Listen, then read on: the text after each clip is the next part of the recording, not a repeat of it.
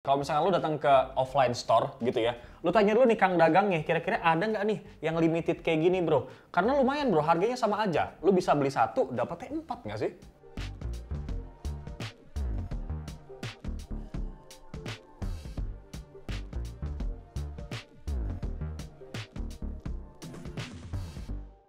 Halo guys, setelah kurang lebih selama satu bulan ya, sebuah handphone yaitu Infinix Note 30 ini rilis dan menggemparkan pasar Indonesia guys. Akhirnya gue memegang langsung dan mencoba guys. Smartphone yang katanya jadi handphone 2,5 jutaan terbaik ini. Nah setelah gue pakai kurang lebih dua mingguan ya, ini gue menemukan 20 poin yang cukup menarik. Ini sebenarnya imbang ya, 10 poin minus sama 10 poin juga plusnya gitu guys. Dan ini mungkin bisa menjadi salah satu pertimbangan pada akhirnya kenapa lu mungkin saja lebih tertarik untuk membeli atau bahkan mungkin lu jadi nggak tertarik setelah nonton video ini guys. Gak usah lama-lama, langsung aja kalian simak full video reviewnya bro.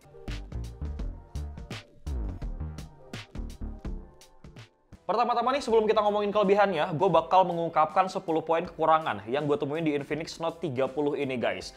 Ya meskipun secara tampilan desain ya, gue bisa bilang kalau desain ini termasuk bagus di kelas 2,5 jutaan. Tapi justru kesan pertama gue pada saat gue megang handphone ini adalah gede banget guys. Gue bahkan coba nih bandingin dimensinya sama Redmi Note 11 yang punya harga mirip, tapi punya ukuran yang lebih compact gitu menurut gue.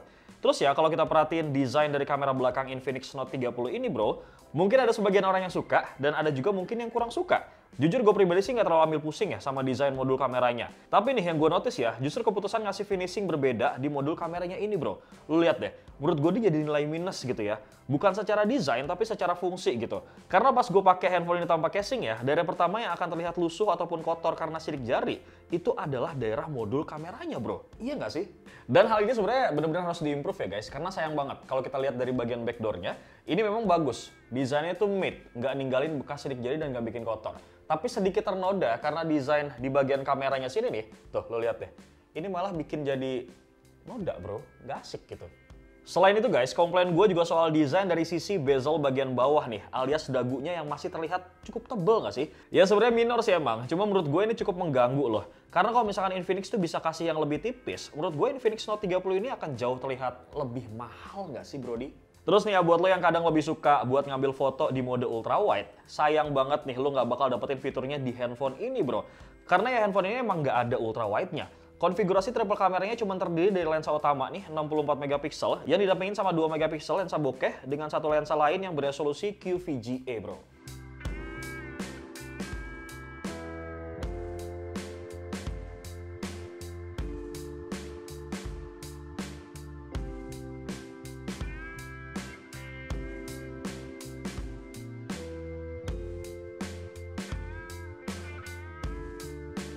Kemudian guys, refresh rate layar yang tinggi itu bukan berarti jaminan lo bisa dengan nyaman ataupun leluasa scrolling-scrolling sosial media setiap harinya bro.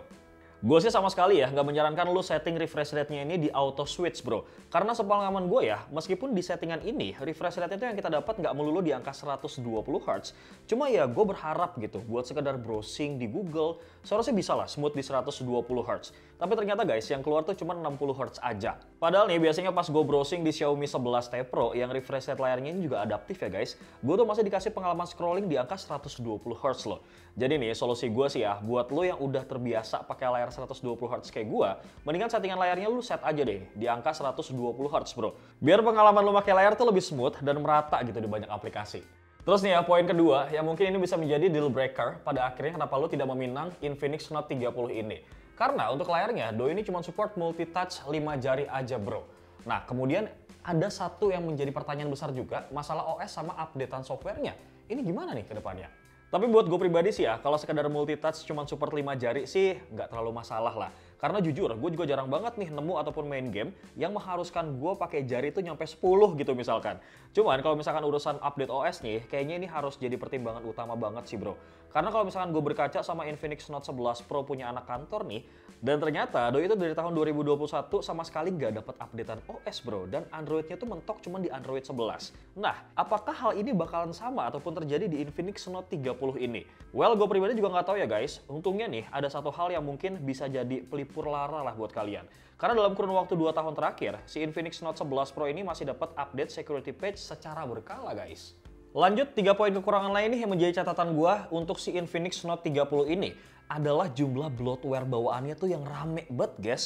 Meskipun beberapa tuh bisa di uninstall. Terus kemudian nih konektivitas jaringannya juga belum support 5G ya. Dan juga handphone ini beda kayak Infinix Note 30 Pro. Di mana ini handphone tuh belum support sama yang namanya wireless charging sama sekali guys. Jadi meskipun Infinix Note 30 ini terbilang handphone terbaik ya di harga 2,5 jutaan, tapi mungkin buat sebagian orang yang lebih suka dengan handphone berukuran compact, kemudian sering ambil foto pakai kamera ultra wide, sampai dukungan update dan juga upgrade software yang tidak terjamin dalam waktu 1 2 tahun ke depan, gue rasa Infinix Note 30 ini mungkin bukan jadi pilihan smartphone terbaik nih buat lo. Tapi nih ya, dibalik ataupun terlepas dari 10 poin kekurangan-kekurangan yang sudah gue sampaikan tadi, brother, rasanya sebagai smartphone ataupun handphone terbaik di angka 2,5 jutaan kurang afdol gitu kalau gue tidak menyebutkan kelebihan-kelebihan yang memang jelas dimiliki sama Infinix Note 30 ini, bro.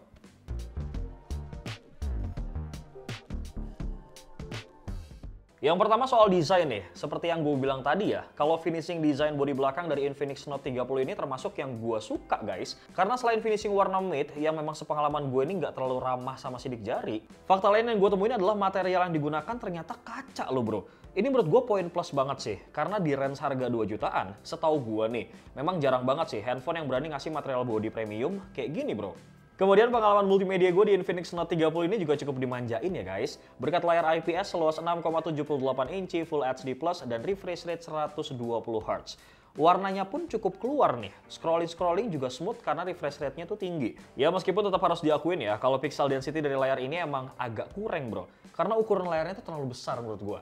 Tapi ini ya, hal yang bikin gue nggak terlalu memperdulikan pixel density-nya, karena speaker dari handphone ini bro, udah stereo dari hasil kerjasama sama JBL. Tapi cuman gak munafik ya, pada saat gue ngedenger kalau Infinix Note 30 ini yang punya harga bahkan pada saat rilis itu nggak lebih dari 2,5 juta terus pakai speaker JBL. Gue sempat ini ngerasa gimmick atau bukan sih bro sebenarnya? Cuman pas gue pakai nonton YouTube kemudian streaming anime sampai main game, ternyata hasilnya tuh cukup impresif loh guys. Nah, kalau kita bicara soal gaming nih, di sini gue sempat nyobain ya beberapa game, mulai dari Mobile Legend, kemudian gue nyoba PUBG Mobile, sampai Genshin Impact. Secara keseluruhan ya, selama gue pakai main, gue tuh sama sekali nggak nemuin masalah berarti di headphone ini guys. Tapi dengan catatan ya, untuk PUBG Mobile, ini saran dari gue aja loh. Mending lu main di settingannya tuh smooth ultra aja. Tapi kalau Mobile Legends sih, monggo lah bebas. Lu mau main di settingan rata kanan atau gimana pun, ya silahkan aja. Masih lancar karena hasilnya. Tapi nih kalau misalkan Genshin Impact, saran dari gue lagi nih, mending lu mainnya tuh di settingan default yaitu low 30 fps aja deh. Atau kalau misalkan lu mau sedikit smooth, main aja nih di low 60 fps. Terus buat lo semua nih yang kepo sama skor Antutu benchmarknya, gue juga sempat nyobain ya pakai Antutu versi yang 9 sama versi yang 10 nih. Hasilnya untuk handphone 2,5 jutaan ini terbilang cukup menarik ya guys. Ini jelas sih hasil kolaborasi yang apik antara MediaTek Helio G99 sama konfigurasi memori 8 per 256 GB nya nih. Selain performanya yang ngebut Brody, kalau baterai handphone ini juga habis, proses pengecasannya juga terbilang ngebut nih. Berkat kepala charger 45 watt yang sepengalaman gua, waktu ngisi sekitar 5-100%, itu cuma butuh waktu 45 menit aja guys. Tapi kalau misalnya lo termasuk golongan gamers yang sering nanggung main game ya, terus tiba-tiba handphone ini lowbat, Infinix juga bisa ngasih fitur bypass charging nih, yang bisa mindahin arus listrik langsung ke motherboardnya. Jadi walaupun lu colok kabel chargernya nih, tapi baterainya tuh cuma bakal keisi maksimal lah sesuai dengan settingan maksimalnya. Antara 20 sampai 40 persenan lah bro. Abis itu dia tuh nggak bakal ngecas lagi. Fitur lain yang gue highlight juga nih dari handphone ini adalah kemampuan recording dari videonya. Karena Dosk ini bisa ngerekam video 1080 pixel 60 fps di kedua kameranya loh ini. Di mana stok gue sih memang agak jarang banget untuk kategori handphone di kelas 2 jutaan, ini bisa kayak gini bro. Bahkan mungkin di harga 3 jutaan pun gue masih jarang nemu nih yang bisa ngerekam video 1080 pixel 60 fps di kedua kamera depan dan belakangnya.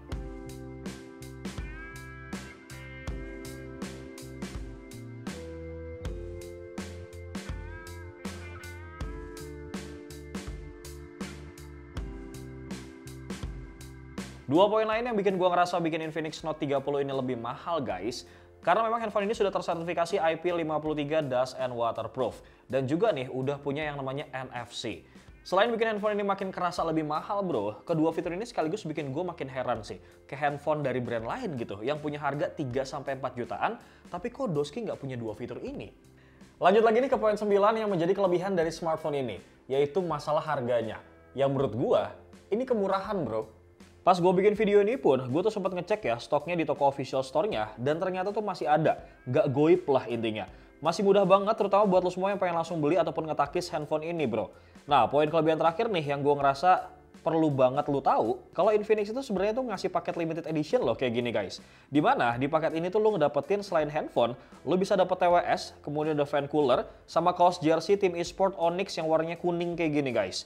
Tapi guys karena stoknya ini terbatas, kurang lebih sekitar 3 ribuan unit lah. Cuman gak ada salahnya nih kalau misalnya lu datang ke offline store gitu ya. Lu tanya dulu nih kang dagangnya, kira-kira ada nggak nih yang limited kayak gini bro? Karena lumayan bro, harganya sama aja. Lu bisa beli satu, dapatnya empat nggak sih? Tapi balik lagi ya, kalau lu semua tuh beruntung. Karena setahu gue nih, orang Infinix-nya bilang kalau stok untuk penjualan online-nya itu udah habis guys.